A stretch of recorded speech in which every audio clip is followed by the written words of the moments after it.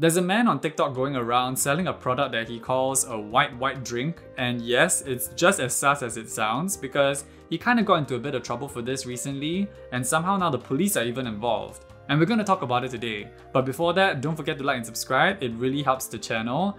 I mean, you don't have to, but would be a lot cooler if you did. Now to understand who this guy is and what's his entire deal, we've got to go back to Uncle Raymond. Yes, I'm talking about that guy who's been dancing around Singapore for the past year or so. Now I've made a video about Uncle Raymond before, so you can go check that out if you don't know who I'm talking about. But the main characters in question today are actually part of Uncle Raymond's crew. Now you see, Uncle Raymond isn't always dancing on his own in his videos. In fact, he's kind of formed somewhat of a dance troupe with a couple of recurring characters in his videos. And two of them are actually the main characters in this story. Now it turns out that they're actually a couple and they've been following Uncle Raymond around dancing in his videos. And the husband himself, who's actually the man selling the white white drinks on TikTok, has also done a couple of skits with Uncle Raymond as well. Both of them are better known by their nicknames that people have given to them, and the wife in particular has been given a nickname because she kinda looks like one of the ministers in Singapore. So the drink seller and his wife don't just create content with Uncle Raymond and dance around. In fact, the two of them also produce their own skits, and I thought we could take a look at some of them. Yeah, I want papa. Yeah, I only can afford papa for you. Yeah, I also can afford you eat drink for you. Yeah, so that was seamless brand integration right there. 10 out of 10. I mean, at least the husband knows his budget and is very upfront about it. Why are you scratching your backside? I am not scratching my backside. I'm finding my yo eat. Yeah, so that one is a bit different. So I don't know who's behind the camera, but it does sound like the person has a bunch of marbles in their mouth, but that's besides the point because he's apparently scratching his backside and pulls out the product. I don't know if that puts the product in a good light because why would you associate it with scratching your butt? But I guess this is some sort of artistic creative direction that I don't understand, so sure. Mama, may I have your white white drink? 不可以，我要过来了，外外令。 Yeah. Okay, the vibes in that one was a little bit different because now it starts off with a whole different character, and then the wife seems kind of heated about it because she also wants her husband's white white drink and doesn't want to compete with another lady for it, I think. I don't know. Obviously, it sounds very sexually suggestive and they're not even trying to be subtle about it, but I don't know what's going on with this dynamic, but I'm interested to see how this plays out.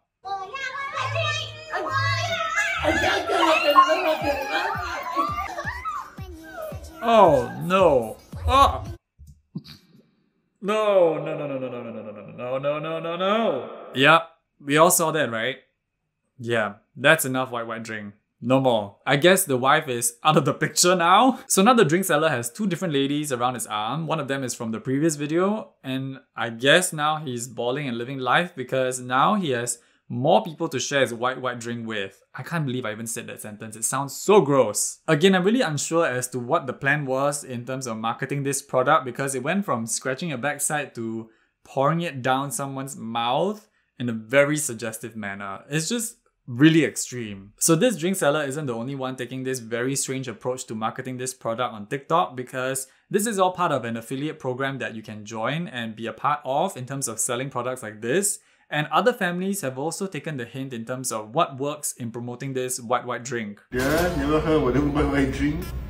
我要。Yeah, make it stop. One epidemic at a time, please. I guess to the drink seller's credit, his tactic was kind of working because soon enough, there were plenty of other people on TikTok replicating his skits and creating parodies of it online. Most of them would actually even feature the actual product in their videos, and in some cases, I wasn't really sure if they were just doing it for laughs or kind of mocking the drink seller and his wife. One of the guys who did the parody video actually then followed up by meeting up with the drink seller in person to kind of clear the air. I don't mean to make fun. I mean to. You didn't accept my apology. So that's interesting because it does seem like the drink seller is maybe even in on the joke or even aware of all these videos created online, so hopefully he doesn't take offense. Now, aside from all of that, even more recently, I'm still seeing plenty of other people on TikTok recreating these skits and buying plenty of those white white drinks in the process. In fact, some people have even bought the drinks to do a taste test. So I guess you can say that the drink seller's tactic is kind of working for better or worse. But it turns out that selling white white drinks isn't the drink seller's only source of income.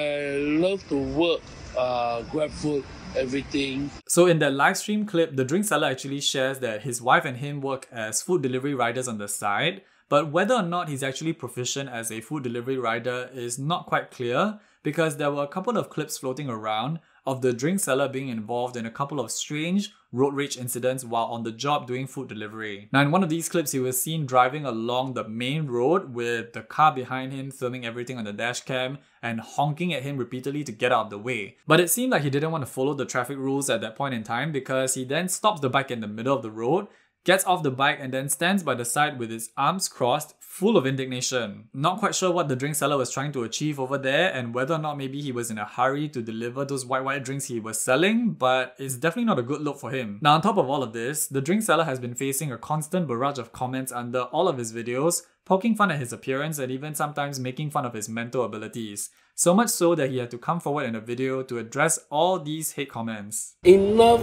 lah. Stop saying I am mental disability. Mental disabled can do grab food me. And there were also other comments that pointed out that perhaps the drink seller was being exploited to produce these skits to promote the white white drink. And to that, the drink seller himself had this to say. It is collaboration, not exploitation. Me and my friend belong to an MCN.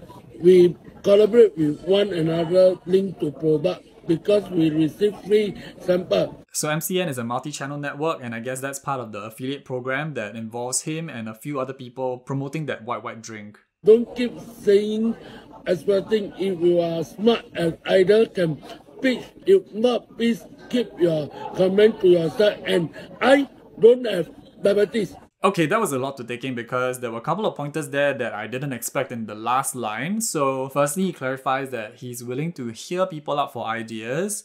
So, it's not quite clear again whether or not he's actually the one scripting these skits that he produces, but it seems like he's open to getting ideas as well. But then he says that I have no diabetes. So I'm guessing that maybe there were also people thinking that he had diabetes due to overconsumption of the white white drink. I have no idea. So after the drink seller made all of these clarifications, I thought that would be the end of the story, but no, it turns out that it was only gonna get worse, so buckle up and strap in because it's gonna be a wild ride. So, sometime in March, there was a bit of chatter going around TikTok that apparently the drink seller's wife had a couple of her photos leaked on Telegram. And of course, all of TikTok went into a collective meltdown when news of this scandal first broke. So, there was a lot of speculation as to where these photos came from, who took the photos, and how did they get leaked into a Telegram chat like this. And it turns out that the drink seller thought that the best way to go about this would be to clarify over TikTok Live. I don't know what this drink seller was thinking. No thoughts, hit empty.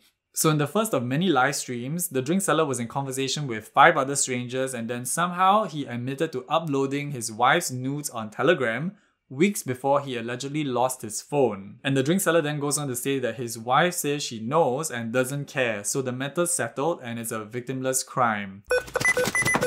Um, that doesn't add up. So did he just admit to his crimes over TikTok Live? Because that's truly insane. This whole thing seems like a private affair that should have been settled among two adults, but I have no idea why that they decided to take it over onto TikTok Live. And somewhere in the middle of this live stream, he goes on to clarify whether or not he actually drinks this white white drink he's been promoting all this while. Do you actually drink the white white drink? Yes, Wow. At least he's walking the talk and he really does have a passion for this white white drink, I guess. And then for some strange reason, the drink seller then decides to go on yet another live stream to share his side of the story with a whole bunch of different people. It seemed like it was mainly led by this one guy who is known on TikTok for selling $2 biryani. And for some reason in these live streams, it seemed like the biryani man was taking it upon himself to uncover the truth behind all of these leaked photos, and it seemed pretty aggressive in certain parts as well. So you want to come down now or not? if you want to talk, we talk. I don't mind. I am talking to you, but you don't want to listen. If I go there, you will. Then how I want to talk to you? Yeah, I'm not sure about those noises that the biryani man made, but that was just a taste of how intense the entire live stream was. And it was pretty heated between the biryani man and the drink seller himself. Now, it's also worth pointing out at this point that while the live stream was happening, the drink seller was actually participating while he was actually at the police station making a police report about the leaked photos of his wife. It's entirely unhinged. I don't know what this drink seller was thinking, but doing a TikTok live while making a police report at the police station isn't immediately the first thought that comes to mind. But for some reason, the drink seller decides to go on with the live stream anyway, and then he proceeds to share more details about what really happened with the leaked photos. I got a consent. I have already told the police officer.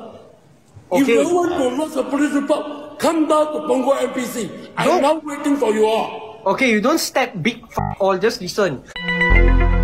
Yeah, so it wasn't really clear if the Biryani man was on a fact finding mission or just there to antagonize him. Couldn't really tell. But mainly what I gathered from the live stream is that according to the drink seller, he got the consent of his wife to take those photos, and the reason why he took them in the first place was to preserve her memory in case she passes away. I'm still not quite sure about that reasoning to be honest, but we'll just have to go with what he said. So aside from the live stream, the Biryani Man then goes on to make a couple more videos explaining his entire investigation into the drink seller story and whether or not the drink seller is telling the truth. He then followed up with a video where he kinda seemed like he was making an apology. I'm sorry that I found evidence. The pictures were leaked way before you lost your phone, and I reported it with evidence straight to the police. Wonder, wonder, wonder, barbecue love. Okay, that's a plot twist I didn't see coming. So yeah, all in all, this entire situation is a hot mess. I honestly have no idea what the conclusion is because all we know is that the drink seller made a police report and so did the biryani man. So I guess it's really up to the police to do their investigation. I still don't quite get this drink seller's fascination with discussing this entire sensitive issue over TikTok live when he could have perhaps been just focusing on selling those white white drinks. But if there's one lesson we can all learn from this, it's don't drink and live. YEOLO, say no, no. YEOLO. YOLO, oh, you only live once.